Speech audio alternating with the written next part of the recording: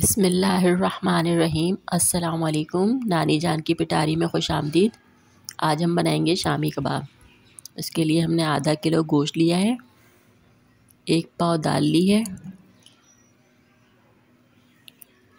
दो दरमियानी दर प्याज ली हैं और दस बारह लहसुन लिए हैं। एक चमचा नमक लिया है। एक से डेढ़ चमचा नमक लिया है। दो चमचे पिसी हुई मिर्चें ली हैं और एक चमचा कुटी हुई मिर्चें ली हैं।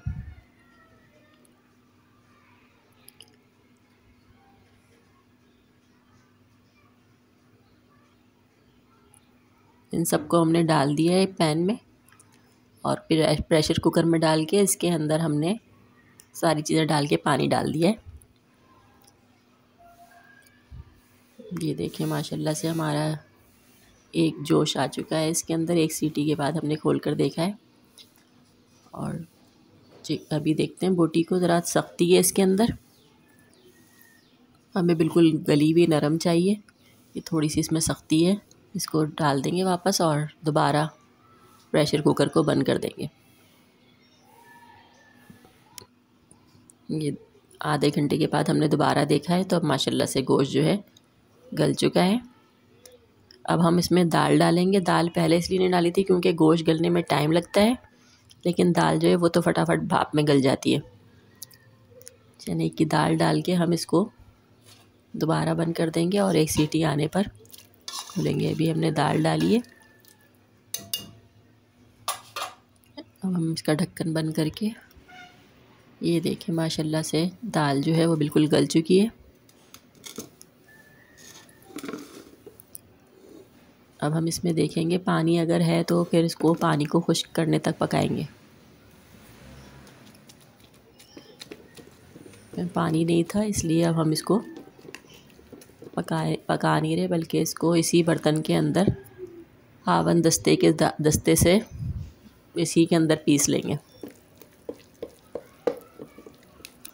देखें, काफ़ी हद तक माशाल्लाह से हो गया है। इस तरह हाँ मशीन में भी पीस सकते हैं, ग्राइंडर में भी पीस सकते हैं, लेकिन चॉपर में, ग्राइंडर में, लेकिन ये इस तरह कूटने से जो रेशा इसका बनता है और जो टेस्ट मज़ा आता है, वो उसमें नहीं आता। तो इसलिए हम इसको कूट नहीं रहे, उसमें कूट रहे हैं और चॉपर में चॉप नहीं कर रहे।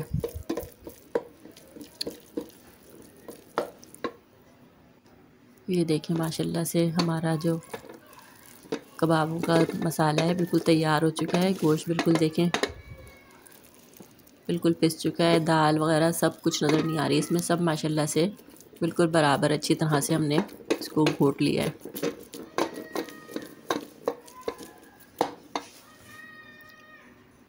इसको अब हमने देखें, प्याले में निकाल लिया है, माशाल्लाह से देखें, बिल्कुल प्लेन पिसा है ये इसके अंदर उसके अंदर बगैर ग्राइंडर के। इसमें अब हम एक अंडा डालेंगे। एक प्याज डालेंगे, चॉप की हुई बारीक, हरा धनिया की एक पत्ते डालेंगे, कुछ बारीक कटे हुए। हरा धनिया, पुदीना बारीक बारीक काट के डालेंगे और थोड़ी सी अदरक बारीक काट के डालेंगे। अदरक ऑप्शनल है, अगर आप डालना चाहें तो डालें, और नहीं डालना चाहें तो नहीं डालें। सारी चीज़ें मिला के हम इसका मसाला तैयार करके टिकिया बना लेंगे इनकी। ये देखें हमारी माशाल्लाह से टिक्कियाँ तैयार हो गई हैं इसकी। शामी कबाब की टिक्कियाँ तैयार हो गई हैं। कितनी खुश शक्ल, खूबसूरत लग रही हैं। इनमें से जितनी फ्राई करनी है वो फ्राई कर लेंगे। बाकी सबको फ्रीज कर देंगे, फिर एमरजेंसी में जिस ज़रूरत हो तो निकाल लेंगे। ये देखें माशाल्लाह से हमारे कितने अच्छे गोल्डन तैयार हो गए हैं। सुनहरी तल के हमने तैयार कर लिए हैं शामी कबाब। बहुत सिंपल तरीक़ा है, लेकिन अगर आप लोग बनाएँगे तो ये बहुत टेस्टी बनते हैं। इन अगली किसी फिर तरकीब में मिलेंगे। अल्लाह हाफिज़।